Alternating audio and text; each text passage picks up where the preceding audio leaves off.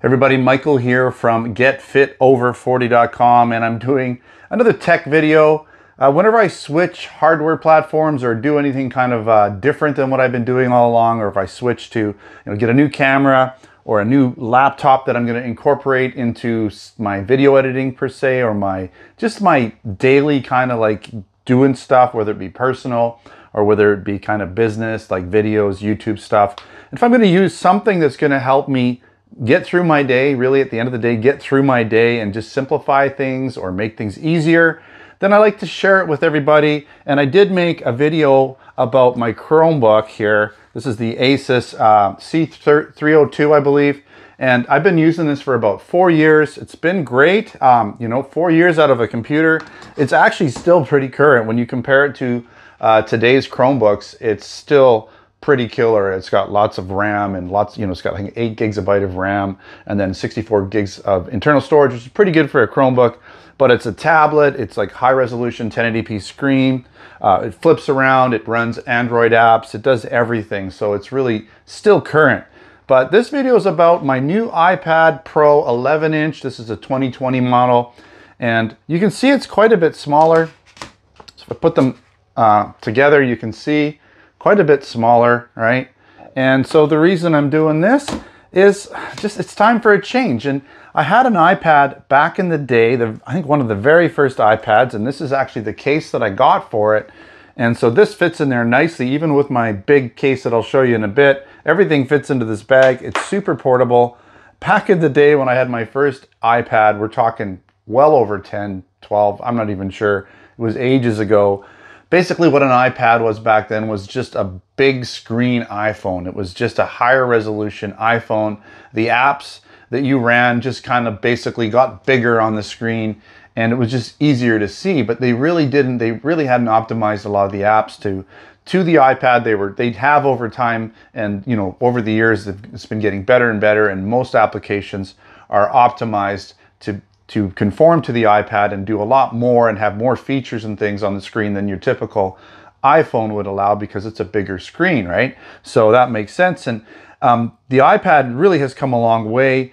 It now it's um, essentially we just got Face ID. Let's go back. I mean now essentially it's edge to edge almost or pretty close to edge to edge. Really small bezels compared to back in the day, even old, even a few years ago, a lot bigger bezels on the iPads. The screen resolution is insane. You know, it's it's super high resolution, higher than 1080p, not 4K, but really high resolution screens. Um, you know, so it's amazing. The color, they're LCD panels, but they're one of the highest quality LCD panels you can get. And the apps really work really great now, and you can multitask really well with these guys.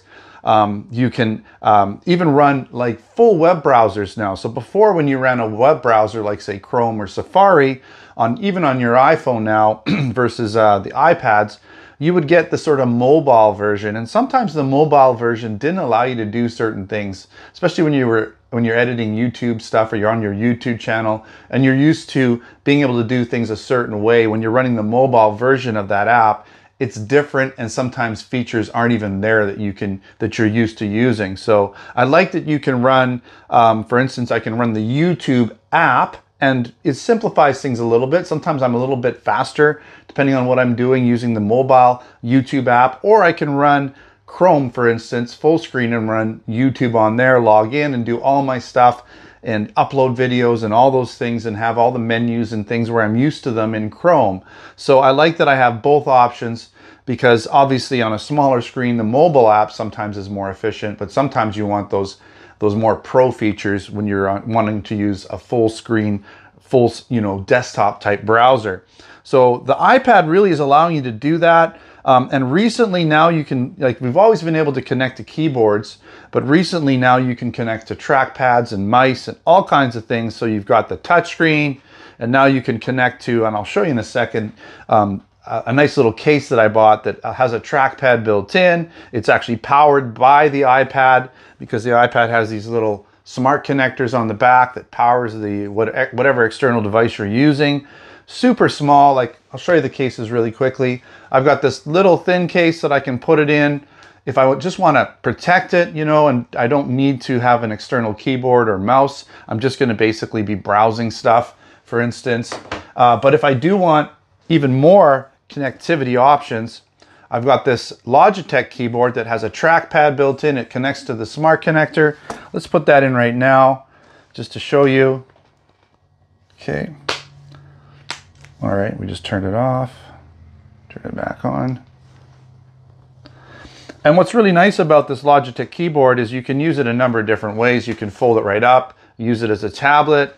You can kind of prop it like this, put it on your lap and just sort of watch stuff with an angled screen. Or of course you can put it on a desk like this and type away. It has a backlit keyboard. Uh, it protects the iPad nicely. It also um, allows a spot for you to put your Apple pen or whatever pen that you're using. Magnetically attaches there. You also got a little thing you can put it in there if it's not a magnetic pen. This isn't the Apple pen, but it does allow me to, if I turn it on, it does allow me to, you know, use the, the the trackpad or the uh, the screen like I would my finger, but I can also do my drawing and, and whatnot with it. So that's really cool. Um, that's come in handy. And uh, you know, backlit keyboard with with all these um, function keys at the top, working trackpad. Let's see here. There we go. So working trackpad, uh, finger gestures, so I can do multi-finger gestures on the trackpad, just like I would on a normal trackpad. So very, very cool. So if I load up something like this, right? I can do multi-finger scrolling, all of those things, resizing, right? All of that with the trackpad, or I could use a screen. So really, really cool. Um, this is the, again, the 11 inch, it's just the 128 gigabyte because what I'm gonna do is, um, and a couple reasons why I got this I'll get into, but what I'm gonna do is some video editing. I'm gonna use this for my, when I'm out and about, when I'm on vacation or just wanna get out of my office to do some video editing, then I can do it on here because I'm gonna use a program called LumaFusion. You can check that out. There's tons of videos on LumaFusion.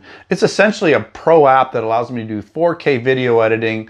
It, you know, multi-track texts, you know, you can do green screen. I mean, you can literally do anything or most pro editing supports all sorts of different codecs. Um, you name it, you can do it on here, and it's it's a pro app with tons of versatility, and that's one reason why I'm switching back to the iPad or the Apple platform, I guess, because I do my video editing on the Mac uh, using ScreenFlow for most of my stuff when I'm on my desktop. When I was away, I would actually do my video editing on my Android uh, Samsung Galaxy phone, um, and I'd use an app called, I think Action Director is the name of it, I can't remember, I think that's it. And it's a pretty good app, but it is limited. And the reason I'd use my Android phone is because a lot of times when I'm away, I would just take the video on the phone and just keep it all on there. It was easier to just keep it all in one place, edit there, and then export to YouTube. And then I could just kind of go on YouTube and make my tweaks through a web browser and put all my texts and all the different things in there. And that worked pretty good in terms of workflow while I was away. This will just allow me to do even higher quality, quicker work, be you know more comfortable once I get used to the program. I really couldn't do that with my Chromebook. Um, it just didn't have the same level of pro apps uh, for video editing. And you're not going to find on a Chromebook or on the Android platform in general as high level pro apps for video editing, photo editing that's just kind of what the Apple platform's always been about. So there just is a lot more options in terms of pro stuff. Yeah, there's definitely apps you can get if you if you don't mind the basic stuff or pretty, you know, uh, just non-pro stuff really. And that's the thing. I just couldn't find like a really good pro video editor on this Android or Chrome, which is all the Google platforms so easily. So I'm going to kind of miss this guy is really a, a nice, you know, a nice computer. You can watch the video I did on it you know, nice, again, nice high resolution screen and everything. A great keyboard, all kind of aluminum build and everything, you know, very Apple-like in terms of quality. Uh, you know, full flip screen and everything, use it as a tablet. It's been great. But kind of what's going to happen for now is my workflow is going to be whatever camera I want. So right now I'm recording in 4K on my Insta360. I'm going to basically uh, pair that because I've got there's a 360 app that I can pair that to and bring my uh, footage in via Wi-Fi because it's just easy enough. I don't mind waiting a bit. I'll usually just go and have lunch while I'm importing stuff or do something else. And then once it's in here, I can export it uh, right to the device, bring it into Insta, or sorry, into, uh, what's the name of the program now? Uh, uh, for totally forgot the name of the program. Here, let me find out. I'm so so new to this stuff, so let's find out. Uh, fusion, something. What the heck is it called?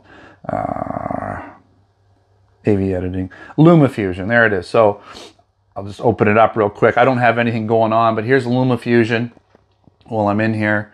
And uh, yeah, I could bring stuff into here. You can see it's, it's your full editor. I don't have any footage in it right now, but I will shortly. I'm gonna bring an audio track in and the video track, sync them all up. And then I'm gonna have uh, some texts and whatnot and some editing. Nothing crazy, but I got some gunk on here. That's the one thing with these with these touchscreens is you get stuff on them, lots of grease, but you can clean it off anytime you want. So I'm gonna be using this program.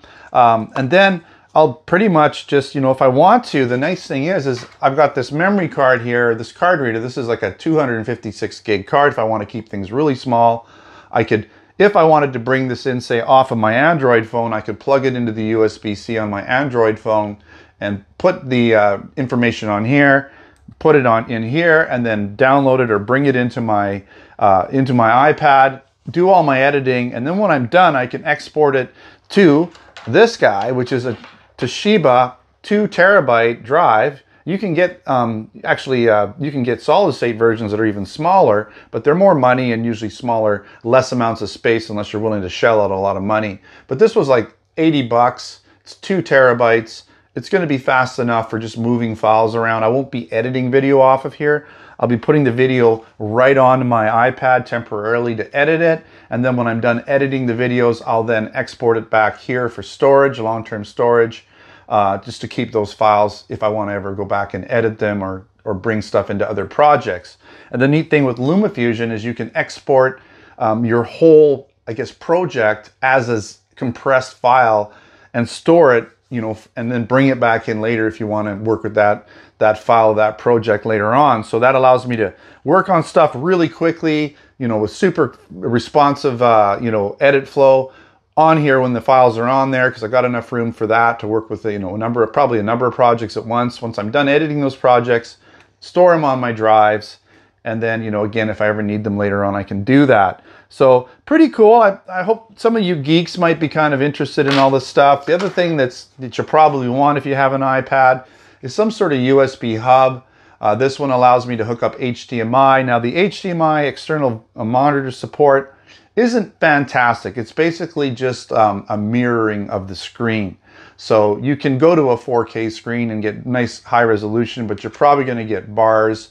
There is a program, I can't remember the name, that allows you to kind of put other things on the secondary screen, but it's a little bit laggy. It's kind of like a mirror, like a, like a, I can't really explain what it is, but it's not true split screen. It's not like you get two separate screens. You got your screen here and then your secondary screen um, that's you know directly connected to the HDMI and supported by the hardware. That might come. I'm thinking you know the video processing cards on here are pretty robust, so I don't see why Apple can't make a split screen option uh, to to be able to do you know kind of similar, have multiple monitors. This would be monitor one, and whatever your other monitor would be monitor two. But this guy lets you at least have a bigger screen if you want that, so that might come in handy. You've got your card readers on it, you've got other USB ports, um, you've also got, so you can plug into here and still have another USB-C charger connected to it and keep things charged up and powered up so that you know you don't have a dead battery partway through your session while you're trying to move files around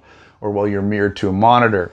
So all that's really cool. Of course, you know, the uh, Apple Pen or whatever. This isn't an Apple Pen, it's a third-party pen. It was like it was like $35 instead of $160. It doesn't give me the grading that, that an Apple Pen would, but it works almost exactly the same in every other way. So that's really cool. I think I think I'm going to have a lot of fun with this. I think I've shared enough information to pique your interest. And uh, this video will be edited using LumaFusion, so it might look a little different than my other videos. I've got to bring over some graphics and things to make the project look kind of similar.